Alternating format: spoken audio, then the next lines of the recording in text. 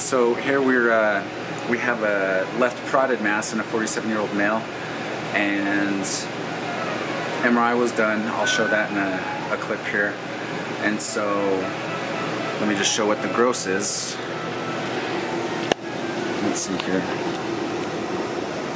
So there's two fragments, um, and kind of irregular, lobulated, gray tan. That one they think might be a lymph node, I think, uh, what the MRI report says. And this is the other one, so. Alright, so backing up, received the formal and labeled the patient's name and social security number and designated left parotid mass are uh, two irregular fragments of um,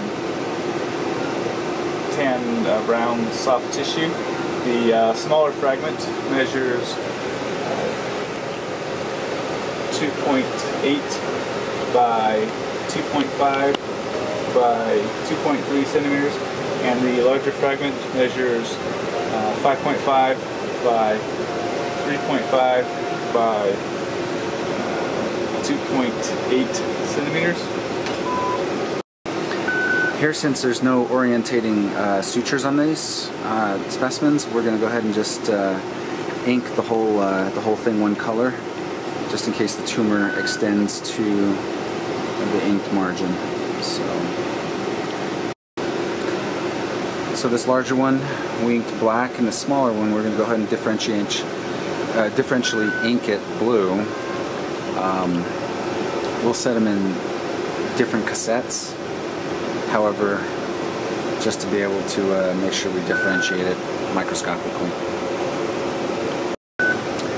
Now we're dabbing it with the uh, ink fixation solution, so that way the ink doesn't wash off during processing.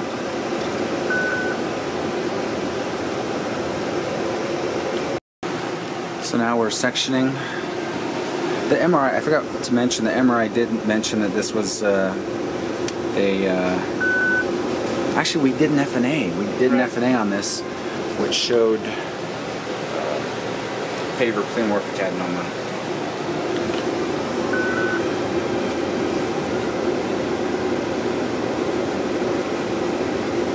And I believe the MRI mentioned that the size was approximately 1.6 by 1.4. They didn't get a third dimension just because the patient was claustrophobic and started freaking out. Okay.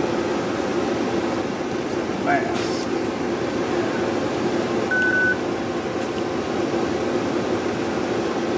So the mass now starts to disappear and So, look for the mass.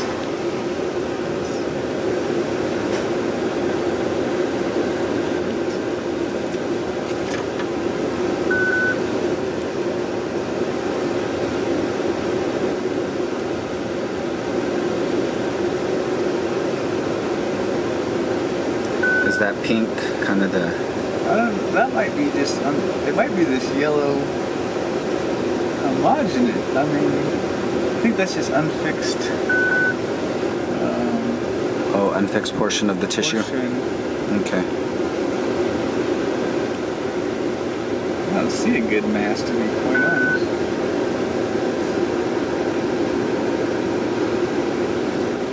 Maybe it's this other one here. Could be. Yeah, that might be the.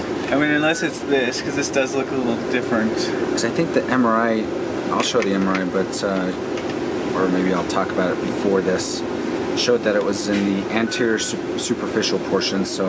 Oh, there's a mass there. Oh yeah. Okay. Okay, yeah. Okay, so it was. It wasn't necessarily intra prodded. Maybe it was on just on the outside Okay, of it. Yeah.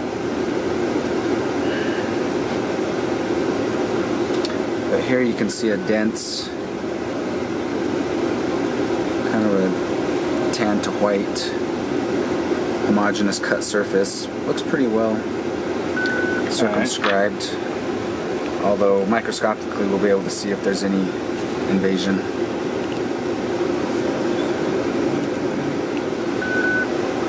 Sectioning the uh, two fragments reveals uh, normal uh, salivary gland tissue throughout the larger fragment.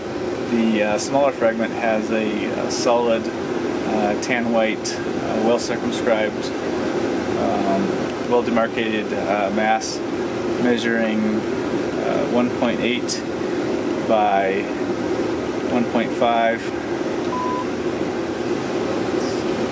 Get a third dimension here.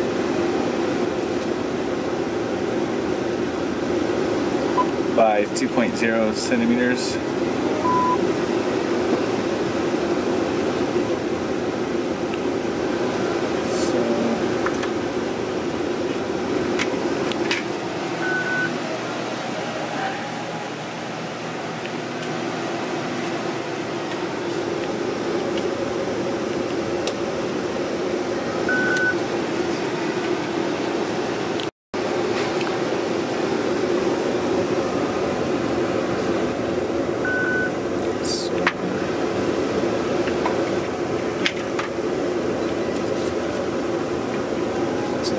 Lesion right there.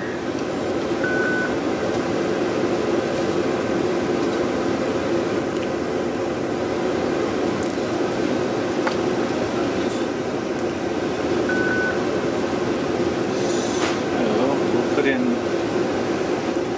fairly small mass, just put in just about all of it.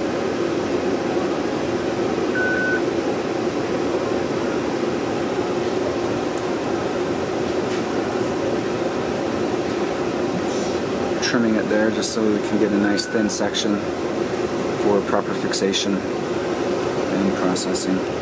So yeah, we'll put the whole lesion in and just representative of the uh, the larger fragment. Yes, and that's how grossing is done. I guess I'll get you putting in some sections of that unremarkable appearing tissue. That's interesting that uh, that It is all confined to the small lobe. the yeah that smaller lobe, but then also the inner portion of this larger didn't quite fix. Yeah. Did we get Some of this yellow stuff, see if that's something besides salivary gland. Yeah. I suppose the only thing to get the only other thing we could have done to get that center portion fixed is cut into it, Sliced it but yesterday. however, um, if it was the lesion, then we would have had to process it more. At the same time, I think we may have gotten it late yesterday. If we see anything suspicious in this stuff here, we can go back and submit more of it Yeah, we'll keep this. later. So representative sections are submitted as follows: A1 through A7, e- entire um, nodule serially sectioned, and A8 through A10, representative sections of uh, larger, uh, unremarkable portion of salivary gland.